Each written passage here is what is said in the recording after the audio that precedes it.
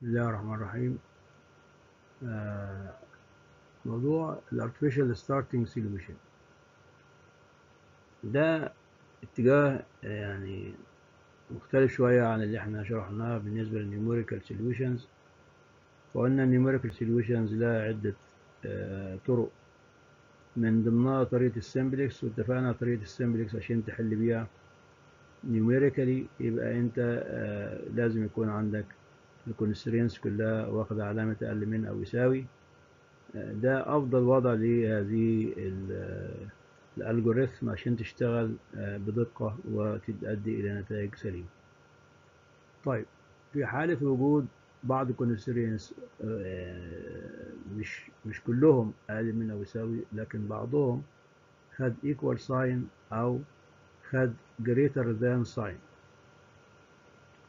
ففي الحالة ديت الاثنين constraints الجداد اللي هم خدوا ال equal وال greater than بنحط عليهم أو بي- بيتميزوا بوضع ما يسمى بال artificial variable ال artificial variable هي variable إضافية آه، بتساعد إلى الحل ولكن في النهاية آه، قيمتها ك solution final أو ك final solution بتبقى قيمتها تساوي صفر وبالتالي هي في نهاية المسألة مش مش بيبقى لها أي قيمة ولكن هي وضعت في أول المسألة عشان فقط تسهل الأمور في البداية كعامل مساعد للحل يعني. بنقول for the linear programming problems in which all the constraints are of type less than or equal with non-negative right-hand sides the slack offer a convenient starting feasible solution يبقى المسائل اللي فيها أقل من أو يساوي ك constraints وال right-hand side بتاعنا positive مش negative فال starting basic solution بتاعنا هيكون عبارة عن استخدام ال slack variables ك basic variables وبعدين المسألة بتتطور زي ما شفنا قبل كده حتى إن إحنا ننتهي ان نجيب إيه؟ قيم ال decision variables اللي إحنا ده الهدف الرئيسي من المسألة. طب في حال بقى the most common procedure for starting linear programming problems that do- don't have convenient, uh, convenient slacks uh, ففي علامة greater than or equal أو في علامة equal نفسها uh, في ال constraints بنستخدم ما يسمى بال artificial variable طب إزاي نستخدم ال artificial variable بقى في الحالة ديت؟ طبعا هنقول أكيد إن هي تبقى artificial variables في حالة فقط ال greater than or equal وحالة ال equal فقط. فبنقول الطريقة اللي إحنا بنستخدمها طريقة بنسميها ال Big M method أو ال M method إيه بقى موضوع ال M method ديت؟ ال M method starts with linear programming in the standard form. يبقى ال standard form حاجة رئيسية عشان نبدأ بيها المسألة. بس هنا ال standard form يطوله بعض الت- التعديلات الطفيفة على أساس يناسب هذه أو هذا ال category من ال solution يعني. For any equation i that doesn't have a slack. في المعادلة اللي ما في اللي ما فيش فيها slack يبقى بمعنى إنها ككونسترينس ما كانتش أقل من أو يساوي. تمام؟ يبقى هي constraint greater than or equal أو constraint equal صريحة. دي معادلة معينة. We augment an artificial variable ri فبنضطر إن إحنا نحط الإيه؟ Artificial variable في المعادلة دي بنسميه RI فلو كانت المعادلة دي رقم واحد يبقى اسمها عندنا R1 معادلة رقم اتنين هتبقى R2 معادلة رقم تلاتة هتبقى R3 وهكذا بالنسبة لل artificial variable. Such a variable then becomes part of the starting basic solution. فبعد كده بناخد هذا ال artificial variable وندخله داخل مجموعة مين؟ مجموعة ال basic يبقى إحنا ال Big M method بتفترض ان ال constraints اللي واخده اكبر منها ويساوي واللي واخده يساوي بيتحط لها artificial variable والartificial variable بيبقى جزء من الحل الابتدائي للمسألة. We assign them a penalty and the objective function to force them to zero at the at a later iteration in the simplex method. ف آه، زي ما إحنا عارفين في الاوبتمايزيشن تكنيكس لو عندك آه، x1 و x2 function فيها x1 و x2 وعايز إن ال x1 دي قيمتها تبقى optimum أسرع من x2 يعني تصل إلى القيمة ال- ال- المثلى ليها أسرع من x2 فبتضطر تحط في ال objective function معامل لهذه آه، آه، آه، لهذا ال variable كبير أكبر من المعامل بتاع الايه ال x2 اللي هو تاني معامل يعني. أو تاني variable sorry تاني variable بعد كده ال penalties اللي إحنا بنحطها على أو بنحطها في معادلة ال objective function بتتحط إزاي؟ اتفقنا إن أنا بجيب ال artificial variable وأحاول إن أنا أخليه يعني زي ما يقول إيه يموت بسرعة. فلو هو يموت بسرعة فبحط قدامه معامل M و M ده رقم كبير. بحيث يبقى إيه أنا أستطيع أن أتخلص من ال artificial variable بسرعة. هو هيساعدني في الأول الحل بس بعد كده آه يعني هغدر بيه وأخلي قيمته في النهاية. في آخر المساله تصل إلى zero. فبالنسبه للمسألة اللي هي ال optimization problem optimization problem فيها maximization فبنيجي على معادلة ال objective function ونحط على حسب ال variable ال artificial مثلا لو R1 أحط قدامه MR1 بس أحطها بالسالب لو كنت بعمل maximization لل objective function وأحطها بالموجب لو كنت بعمل minimization لل objective function يبقى هنا هيجي على معادلة ال Z وهزود. يا إما minus mr1 for example أو أقول plus mr1 minus mr1 لو كنت بعمل ال objective function دي maximization و plus mr1 لو كنت بعمل لها minimization. آه بعد كده بحاول إن أنا أ force ال R i ديت أو ال artificial variable كلهم إن يبقى قيمهم صفر. طبعا مش مرة واحدة ولكن واحد ورا الثاني كده لغاية ما انتهي منهم. وما انتهي منهم بلاقي إن المسألة خلصت على هذا الوضع. فيها ال artificial variables بصفار وظهر عندي بديلا لهم الايه ال decision variables ده مثال على ال big M مثلا فعاوزين ن minimize function ن minimize function z equal 4x1 plus x2 و subject ليه ثلاثة constraints واحد منهم 3x1 plus x2 equal 3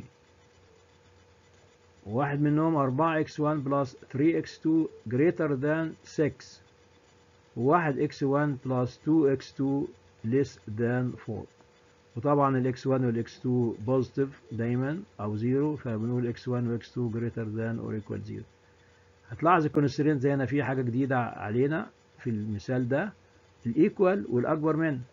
فدولت اللي هم هيبقى لهم ملحق إن إحنا إيه نحط عليهم artificial variable. إزاي بقى نحط عليهم artificial variable فال standard form في الحالة دي بالنسبة لل constraints أول خطوة هنعملها الأولاني كان equal وبالتالي هيتكتب equal زي ما هو دون إضافة. خلي بالك دون إضافة. ولا slack ولا surplus variables ولازم الأول نستعين بال slack وال surplus variable في وزن الايه ال standard model أول معادلة كان فيها equal واتفقنا ال equal ولا بحط slack ولا بحط إيه artificial تاني معادلة كان فيها greater than طالما فيها greater than يبقى محتاج أضيف surplus variable اللي هو اسمه إيه؟ ال x 3 يبقى ال x 3 ده surplus variable المعادلة الثالثه كان فيها slack لأن كان فيها equal less than or equal فاحط هنا slack variable اسمه x 4 ده أول حاجة اللي هي إضافة ال slack وال surplus وهنا هيبقى عندنا أربعة variable الأربعة variables كلهم بما فيهم الجداد لازم يكون أكبر منها ويساوي صفر وال objective function ما حصلهاش لسه تعديل. من المعادلة بتاعه ال z هتلاقي إنها فيها M R 1 و M R 2 مجموعين عليها فأنا أخشى إن يطلع R 1 و R 2 لها قيم وبالتالي هتتضرب في M وتيجي تخلي ال minimization ده قيمته تتغير. بس قبل ما أكمل بقى أقول لك طب ال M دي قيمتها كام؟ احطها كام؟ 1000 10000 5 2 ما اللي إحنا بنقول عليه إنها مش رقم ولكن هي value value بتكون عبارة عن value موجبة كبيرة. ف by definition m is big enough positive number. قيمته كام؟ ما تسألنيش يعني هنخليها m زي ما هي كده عشان اعوض عليها برقم. يبقى M هتكون في المسألة M زي ما هي دون التعويض عن رقم. عشان كده سموها ال big M method خدت ال- ال- الاسم بتاعها من هنا M method و big عشان ال M دي لازم تكون رقم كبير. وليه رقم كبير؟ عشان ن force ال R 1 وال R 2 طالما اتحطينا قدامها رقم كبير إنها تقل بسرعة وتصل إلى ال zero في أسرع وقت ممكن. فده اللي هو التكنيك بتاع ال optimization المعروف. ف المعادلة بالشكل ده أنا بقى خايف من إيه؟ من R1 و R2 تطلع قيمهم مش بصفر وبالتالي يأثروا على قيمة ال minimization. عشان كده بقول إن أنا يا ريت لو قدرت إن أحاول في الجدول اللي فات ده إن أنا أول حاجة أعملها إن ألاقي أو أحول المعاملات اللي تحت ال R 1 وال R 2 في الجدول ده اللي هي minus M و minus M أحاول إن أنا أخليهم اصفار أحاول إن أنا أخليهم اصفار عشان المعاملات دي لما أجي أقول ال z والمعامل بدل minus M هنا أحاول أخليه صفر وأضربه في R1 مهما تكن قيمة R1 هيبقى القيمة ال- ال- النهائية بتاعته بصفر. وال R2 اللي هنا اللي بعدها على طول. بالمناسبة دي R2 مش R1 يعني هي غلطة مطبعية بس. فالصف الأول العمود الأولاني R1 والعمود الثاني R2 العمود الثاني إيه؟ ار2 فأنا هحاول آه، يعني إيه؟ يبقى العمود الثاني ده فيه R2 تمام؟ آه، هحاول إن أنا أخلي تحت ال R1 وال R2 تحت ال R1 وال R2 احاول أخلي صفار. طب أنا أخلي الناقص ام صفر إزاي؟ ما أنا عندي في آه، يعني في الرياضة حاجة تقول لك إيه؟ لو أنا عندي معادلة ومعادلة تانية أنا ممكن يعني أجمع المعادلتين أضرب معادلة وأجمعها مع التانية. طالما بحل set of linear equations يبقى أقدر إيه؟ أعمل عملية آه، جمع معادلات وطرح معادلات والقصة دي كلها. فأنا اللي هي- اللي هيحصل هنا. لو عاوز أخلي الناقص ام دي بزيرو فاجي أبص أقول لك طب تعالى ما المعاملة المعادلة بتاعة ال R 1 لو جيت ضربتها كلها في M المعادلة بتاعة R 1 ضربتها كلها في M وجمعتها على الأولانية هتخلص من ده. لكن مش هقدر أتخلص من اللي بعديه اللي هو ال minus M دي فأتخلص منها إزاي؟ إن أنا أجي على المعادلة بتاعة R 2 وأضربها هي نفسها في M أجمعها على ده هيدينا هنا إيه M و minus M يدينا النتيجة النهائيه zero. لكن باقي المعادلات هتتغير باقي المعاملات هتتغير. يعني الناقص 4 مش تبقى ناقص 4 والناقص 1 مش تبقى ناقص 1 أمال هتبقى كام؟ هتبقى هنا ناقص 4 وهيجي لنا 3 M و4 M 7 M يبقى ناقص 4 زائد 7 M هيكون بدل الناقص 4 هنا. وهنا هيكون ناقص 1 زائد M زائد 3 M يعني ناقص 1 زائد 4 M هنا هيكون آه، ناقص 1 اللي هي آه، ناقص M sorry اللي هتبقى zero هنا وهنا نا- ناقص M آه، أو M في ناقص 1 يدينا ناقص M هنا هتبقى صفر صفر وهنا هيبقى صفر وهنا هيكون عبارة عن إيه؟ التلاتة هتضرب في M والستة هتضرب في M أجمعهم يديك 9 M يبقى ده أول حاجة هتعملها بعد ما أنشأت هذا الجدول الأولاني إنك تتخلص من المعاملات اللي تحت R1 و R2 شوف بقى هنا في إيه وهنا في إيه وحاول تتخلص منهم بالاستعانة بالمعادلة بتاعت R1 والمعادلة بتاعت R2 آه فبنقول إن ال new Z row المعادلة اللي أنا هطبقها. تساوي ال old Z row اللي هي موجودة عندنا هنا زائد M في R1 row زائد M في R1 row زائد M في R2 row كده هنتخلصنا من المعامل ده خليناه صفر وصفر. وتغير هنا شوية حاجات نكتبهم أو its pivot column coefficient بتاعنا ناقص 4 زائد 7 M ده its pivot column coefficient هنجيب ناقص وبعدين نفتح قوس its pivot column coefficient هو ناقص 4 زائد 7 M multiplied by new pivot row هيديك الايه ال- ال- الارقام دي لو جمعت ده وده هيديك هنا إيه بالنسبة لي ناقص 4 زائد 7 M ده اول حاجة في Z row ال current اللي هو في الجدول اللي فات هيتجمع علينا هنا 4 آه، ناقص 7 M. هيدينا zero النتيجة. ثم بعد ذلك 1 زائد 5 M على 3 ناقص M. 4 ناقص 7 M على 3 zero zero. وبعدين 4 زائد 2 M. ده ال new Z row اللي هو المفروض هيكون في الجدول رقم اتنين. أهو كتبناه. يبقى ال new Z row. الجدول رقم اتنين هتكون فيه المعاملات دي. بالنسبة لل new pivot row أهو زي ما هو. آه، اللي هو ده هو بتاع ال X 1 وبعدين الصف الجديد بتاع ال R 2 أهوت الصف الجديد بتاع ال X 4 أهوت بنفس الطريقة اللي حسبنا بيها الصف بتاع ال Z اللي هي المعادلة بتقول لك إيه؟ ال new row يساوي ال current row minus its pivot column coefficient multiplied by ال new pivot row هنا بعد ما عملنا الجدول ده أصبح كل القيم اللي فيه آه، موجودة نيجي على ال- آه، عشان نعمل الأربع حاجات نيو البيفت كولوم البيفت رو الريشيو النيو بيفت الليفنج فاريبل عفوا. فالأربع حاجات دول تعملهم على الجدول رقم اتنين. هتيجي على الصف بتاع ال Z بداية وتشوف انت الايه المعاملات الموجبة فيه. هتلاقي واحد زائد خمسة M على تلاتة ده for sure موجب. ناقص M is for sure negative. 4 minus 7 M على 3 for sure negative. يبقى ده الرقم الموجب الوحيد. وإحنا قلنا القاعدة إن أنا بختار الموجبات وبختار لو minimization اختار الموجب الكبير فأنا هنا عندي ده الموجب الوحيد يبقى هو ده اللي هختاره يبقى ال pivot column بتاعنا اللي هو الصف اللي تحت X 2 العمود اللي تحت X 2 بعدين لما اخترنا هذا العمود آه، يبقى الريشيو بتاعتنا هتكون واحد على واحد على تلاتة يعني تلاتة. اتنين على خمسة على تلاتة يعني ستة على خمسة. ستة على خمسة يعني 1.2 وتلاتة على خمسة على تلاتة آه، يعني تسعة على خمسة يعني واحد وثمانية من عشرة. يعني كده واحد وثمانية من عشرة. 1.2 ثم هنا إيه؟ تلاتة. طبعا أقل حاجة اللي هي ال 1.2 اللي عند النقطة دي يبقى ده ال pivot row بتاعنا. ده هيبقى ال pivot row بتاعنا اللي هو الصف بتاع R2 طيب مين ي leave الجدول بقى؟ يبقى R2 لازم يخرج من الجدول ويجي مكانه ال X2 خلي بالك دلوقتي الجدول اللي فات خرجنا R1 معنى كده إن هو راح إلى مجموعة ال non basic يعني قيمته بقت صفر. المرة دي هنخرج ال R2 ها من مجموعة ال basic عشان يجي يحل محلها x2 يعني معنى كده r2 هتروح إلى مجموعة ال non basic يبقى برضو قيمتها هتكون صفر. يبقى أنا كده متأكد إن r1 و r2 إيه؟ بصفار. والجدول يبقى x1 و x2 موجودين فيه. وبنفس ال sequence بقى. x1 و x2 هنيجي نقول طيب إحنا آه، طالما جبنا x2 هنا هنحسب له ال new pivot row بنفس القاعدة.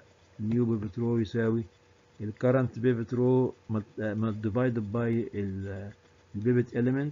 ثم نجيب صف جديد لل Z صف جديد بالنسبة ل X 1 صف جديد بالنسبة ل X 4 بعد كده ما عملنا الكلام ده آه، هل إحنا خلصنا؟ آه صحيح عندنا X 1 و X 2 آه، بعد ما جبت كل القيم الموجودة في الجدول هنا. آه، بس لسه الجدول فيه شغل. ليه؟ لأن عندك هنا zero zero وفي هنا خمس موجب وهنا 8 ناقص 5 M على 5 ده for sure negative وناقص 1 زائد 5 M على 5 is for sure negative يبقى الرقمين دول سوالب الرقم ده موجب. يبقى اذا لسه في شغل. طالما في رقم هنا موجب يبقى في شغل لسه بحيث إن أنا بعمل عملية minimization بعد كده آه باجي أقول طيب ال pivot row بتاعنا هيبقى عبارة عن الصف بتاع ال X 4 ليه بقى؟ لأن أنا هنا بقول ال ratio بالنسبة لل X 1 تكون 3 خماس على خمس يعني 3 وبالنسبة لل X 2 يبقى 6 على 5 على ناقص 3 على 5 مستبعد لأنه سالب. وبعدين بالنسبة لل X 4 هيبقى 1 على 1 يعني 1 يبقى أقل واحد هنا اللي هو بتاع X 4 يبقى ده اللي إحنا هنختاره ها؟ ده اللي أنا هختاره هيكون ال pivot row بتاعنا. اخترنا ده pivot row هنيجي نقول طيب أول ما, قبل قبل نروح للجدول اللي بعديه آه هنختار ال new pivot row إن أنا أجيب ال pivot row بتاعنا ده بعد تحديده وأقسمه على ال pivot element يعني أقسمه على واحد. أي حاجة بتتقسم على واحد تطلع نفسها. فاذا في الحالة دي ال new pivot row هيكون فيه zero واحد واحد آه zero zero sorry واحد واحد ناقص واحد واحد واحد. ده الايه؟ ال new pivot row بتاعنا. يعني zero zero واحد واحد ناقص واحد واحد واحد. وبعدين بعد يبقى ده new pivot row هنجيب صف جديد لل z صف جديد لل x 1 صف جديد لل x 2 بنفس الطريقة القانون بيقول أي واحد من الثلاثه دول ال new row يساوي ال current row ناقص افتح قوس its pivot column coefficient اقفل القوس multiplied by ال new pivot row فهيديك الأرقام اللي هي موجودة قصاد الزد قصاد الاكس 1 قصاد الاكس 2 طيب ده الجدول اللي إحنا وصلنا له حتى هذه اللحظة. الجدول ده القيم اللي فيه إيه؟ صفر صفر صفر. وبعدين عندك 7 ناقص 6 m على 5 ده for sure negative ناقص 4 m على 5 is for sure negative وبعدين ناقص 1 على 5 negative فاذا الأرقام الموجودة عندك كلها سوالب وبالتالي مفيش فرصة إنك تروح لجدول جاي بعد كده. وفي نفس التوقيت عندك إكس 1 واكس 2 موجودين في ال basic group بتاعتك و r 1 و r 2 مع السلامة راحوا إلى ال non basic group يعني معنى كده r 1 ب zero و r 2 ب zero وكده المسألة خلصت على الجدول ده.